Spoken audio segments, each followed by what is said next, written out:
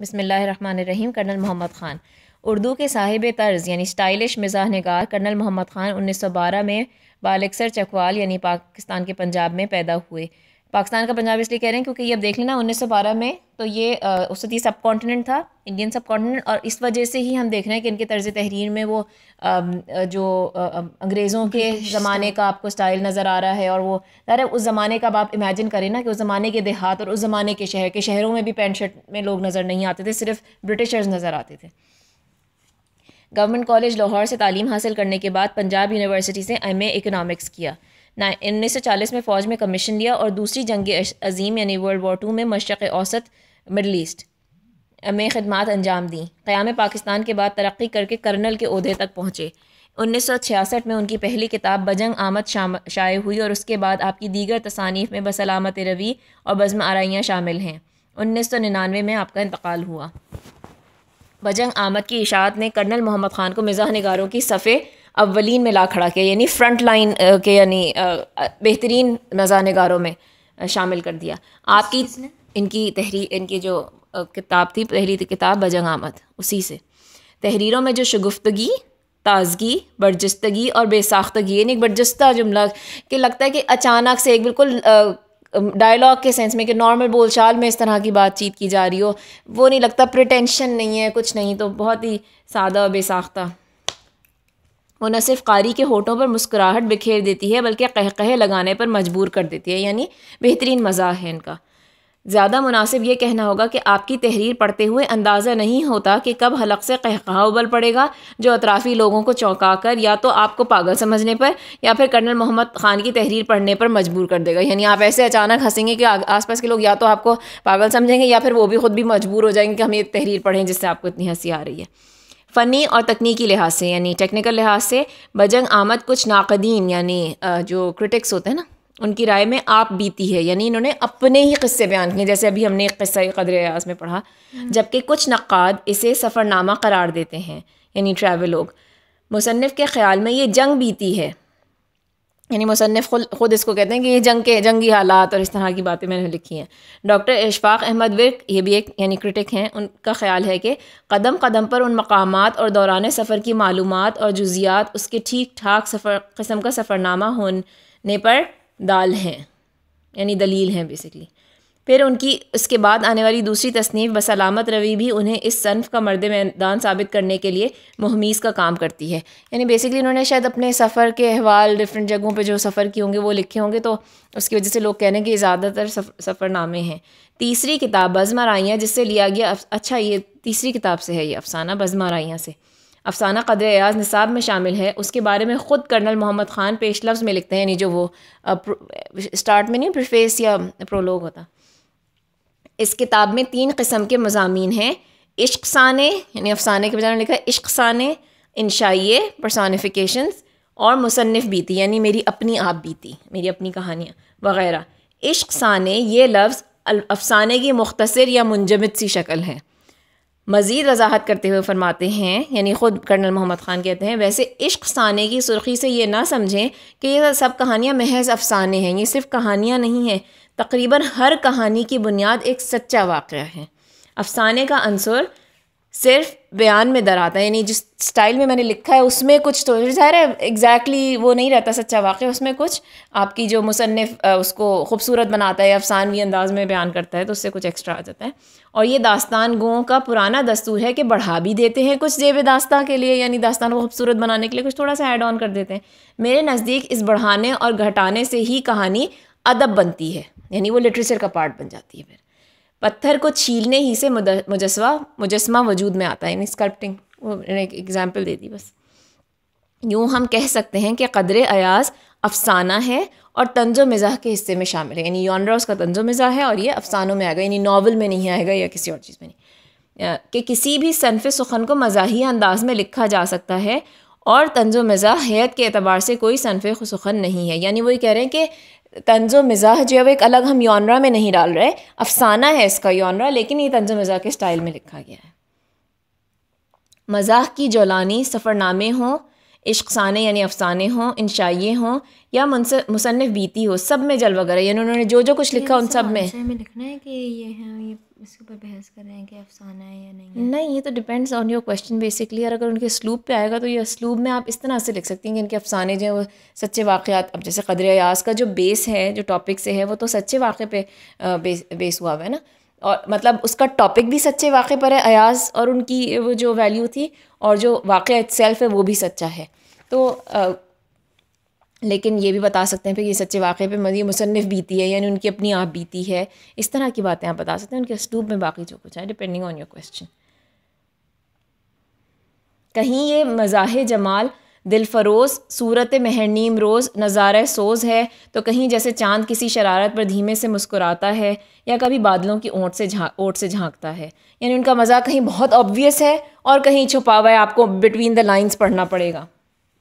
मुश्ताक अहमद यूसफ़ी कहते हैं जिन्होंने आपका और आना घर में मुर्गियों का लिखा है उर्दू मज़ाह को कर्नल मोहम्मद ख़ान ने एक नया बांकपन यानी एक नया अंदाज़ और अंदाज़ दिलबरी बख्शा है जो उनका और सिर्फ़ उन्हीं का हिस्सा है। यानी आप असलूब में ये बताएँगे कि उन्होंने बिल्कुल एक नए अंदाज़ में अछूते अंदाज़ में उन्होंने तंज मज़ा लिखा।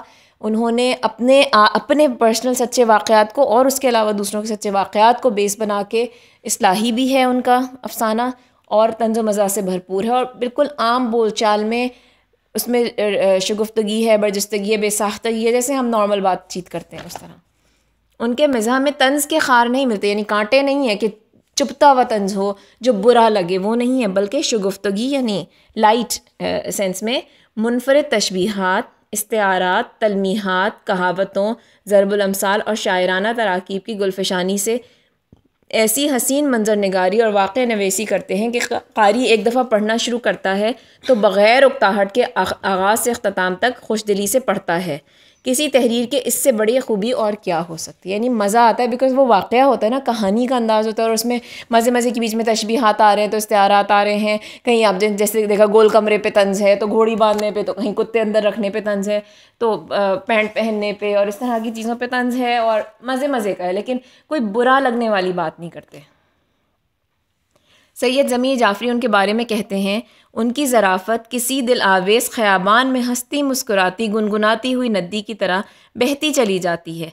यानी इतना रवा है उनका फ़्लो जो है उनकी राइटिंग में। सैयद ज़मी जाफ़री ने क्या रखा था? ये यही जो मैं पढ़ा अच्छा, अच्छा। और अपने बहाव के तिलसम में यानी जादू में किनारों को भी अपने साथ बहा कर ले जाती है। यानी बेसिकली उनकी तारीफ़ कर रहे हैं कि वो इतना अच्छा तंज मज़ा लिखते हैं। ज़बान और बयान पर जो दस्तरस, यानी उर्दू ज़बान और उसको एक्सप्रेस करने पर जो दस्तरस, जो उसके ऊपर उनको महारत एक्सपर्टीज़ कर्नल मोहम्मद ख़ान को हासिल है, उसके बारे में इशफाक़ अहमद विर्क लिखते हैं। बेसिकली उन्होंने ज़्यादातर असलूब इनका दूसरे क्रिटिक्स की ज़बान से आपको बताया है कि उन्होंने इनके असलूब के ऊपर क्या क्रिटिकल एनालिसिस लिखा है।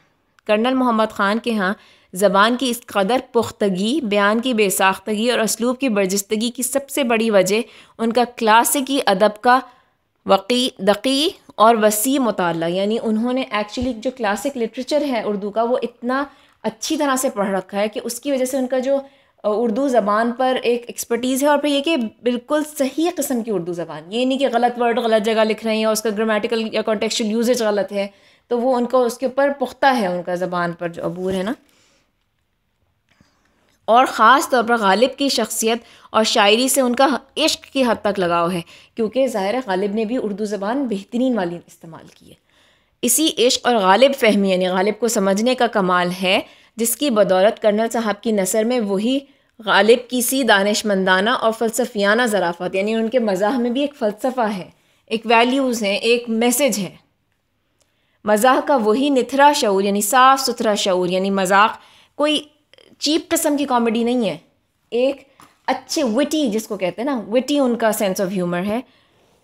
एक मुस्तकिल ज़िंदा दिली, यानी आप देखिए उनकी जो वो है तहरीर है, वो शुरू से आखिर तक मुस्तकिल तौर पर आपको लाइट ही नज़र आती है। उसमें कोई गाढ़ापन, कोई संजीदगी, कोई तंज ऐसा कि आप किसी के ऊपर, यानी तनकीद वाला, चुपता हुआ जुमला, इस तरह की चीज़ें नहीं इट्स लाइट थ्रू आउट और तूफ़ानों में भी मुस्कुराने का ज़बरदस्त हौसला पैदा हो गया है। यानी मुश्किल को भी बिल्कुल हँसते मुस्कुराते झेल जाना। अगरचा उन्होंने अकबाल, दाग और मीर से भी बेपनाह इस्तेफादा कर रखा है। यानी इन शरा से भी उन्होंने फ़ायदा हासिल किया, लेकिन असल में किन शायर के वो मोतक़ थे? गालिब के। गालिब को पढ़ा, उनको समझा और उनका अंदाज़ अपनाया। ताहिर मसूद की दिए गए एक इंटरव्यू में कर्नल मोहम्मद ख़ान कहते हैं। यानी ख़ुद कर्नल मोहम्मद ख़ान ने एक इंटरव्यू में कहा नए लिखने वालों का सबसे बड़ा अलमिया ये है कि वो उर्दू के क्लासिकल अदब से बिल्कुल कोरे हैं। यानी वो उर्दू के क्लासिक जो ओरिजिनल लिटरेचर है उसका मताल नहीं करते। ये नए राइटर्स के बारे में कह रहे हैं। नहीं ये पुराने राइटर्स में से बेटा ये तो अर्लियर राइटर लेकिन जो उर्दू अदब स्टार्ट हुआ तो और भी पहले स्टार्ट हो गया था ना लेटर नाइनटीन सेंचुरी में। हालाँकि तहरीर में गहराई क्लासिकी अदब से वाकफियत के नतीजे में ही पैदा होती है। तो ये एक इनके असलूब में आप लिखेंगे कि चूँकि इनका क्लासिकी अदब पर, गहरा और वसी मताल था। उसकी वजह से इनकी ज़बान और बयान में और उर्दू के ऊपर पूर में एक पुख्तगी है और उनका शूर है, वो नज़र आता है इनके उसमें। ज़माना तालब इलमी में हमारे उस्ताद डॉक्टर ग़ुलाम जीलानी बर्क़ ने हम लोगों में मुताले का ज़ौक़ पैदा कर दिया था। यानी बचपन से ही हमें रीडिंग का शौक़ था। उन्होंने मुझे अमीर मीनाई से लेकर सारे क्लासिकी शुरा का कलाम पढ़ा दिया। यानी सिर्फ़ प्रोज़ नहीं पोइट्री सारे उस ज़माने में पहला जो क्लासिकी लिटरेचर है हमारा, उसमें ज़्यादातर आपको शायर मिलेंगे। यानी प्रोज़ उर्दू अदब में बाद में आया है ज़रा रिलेटिवली और कम था इनिशियल में क्लासिक में। अंग्रेज़ी खानों, तहज़ीब और ज़ुबान से मुतक़ उनके तबसरे और आरा से वाज होता है कि उन्हें अपनी ज़बान, तहज़ीब और पाकिस्तान से कितनी मोहब्बत है। ये आप एक इनके असलूब में ज़रूर लिख सकते हैं कि उन्होंने अपनी तहज़ीब को आगे बढ़ाया। शाम हमदर्द में पढ़ा गया इंशाइया। ख़यालात परेशान बैरूत में कायद अज़म मंजिल और निसाब में शामिल अफसाना कदर अयाज इसकी मिसाल हैं। ये डिफरेंट अफसानों के नाम हैं। कर्नल डॉक्टर रऊफ़ पारेख लिखते हैं, कर्नल मोहम्मद ख़ान के बारे में ये बात वसूख से कही जा सकती है कि वो एक ऐसे खालिस मिजाह नगार हैं जिनकी शगुफ्तगी और दिलकश अंदाज बयाँ के साथ उनकी पाकिस्तानियत और मकामी असरात, उनकी मुनफरद और मुमताज़ मकाम अता कर, उनको मुनफरद और मुमताज़ मकाम अता करते हैं। बेसाख्तगी तोानाई अंदाज नज़र की ताजगी और अंदाज बयान की शेरियत ने उनके मज़ा को सह आतशा बना दिया, यानी बेहतरीन बना दिया उनके मज़ा में और डेकोरेट कर दिया उनके मज़ा को।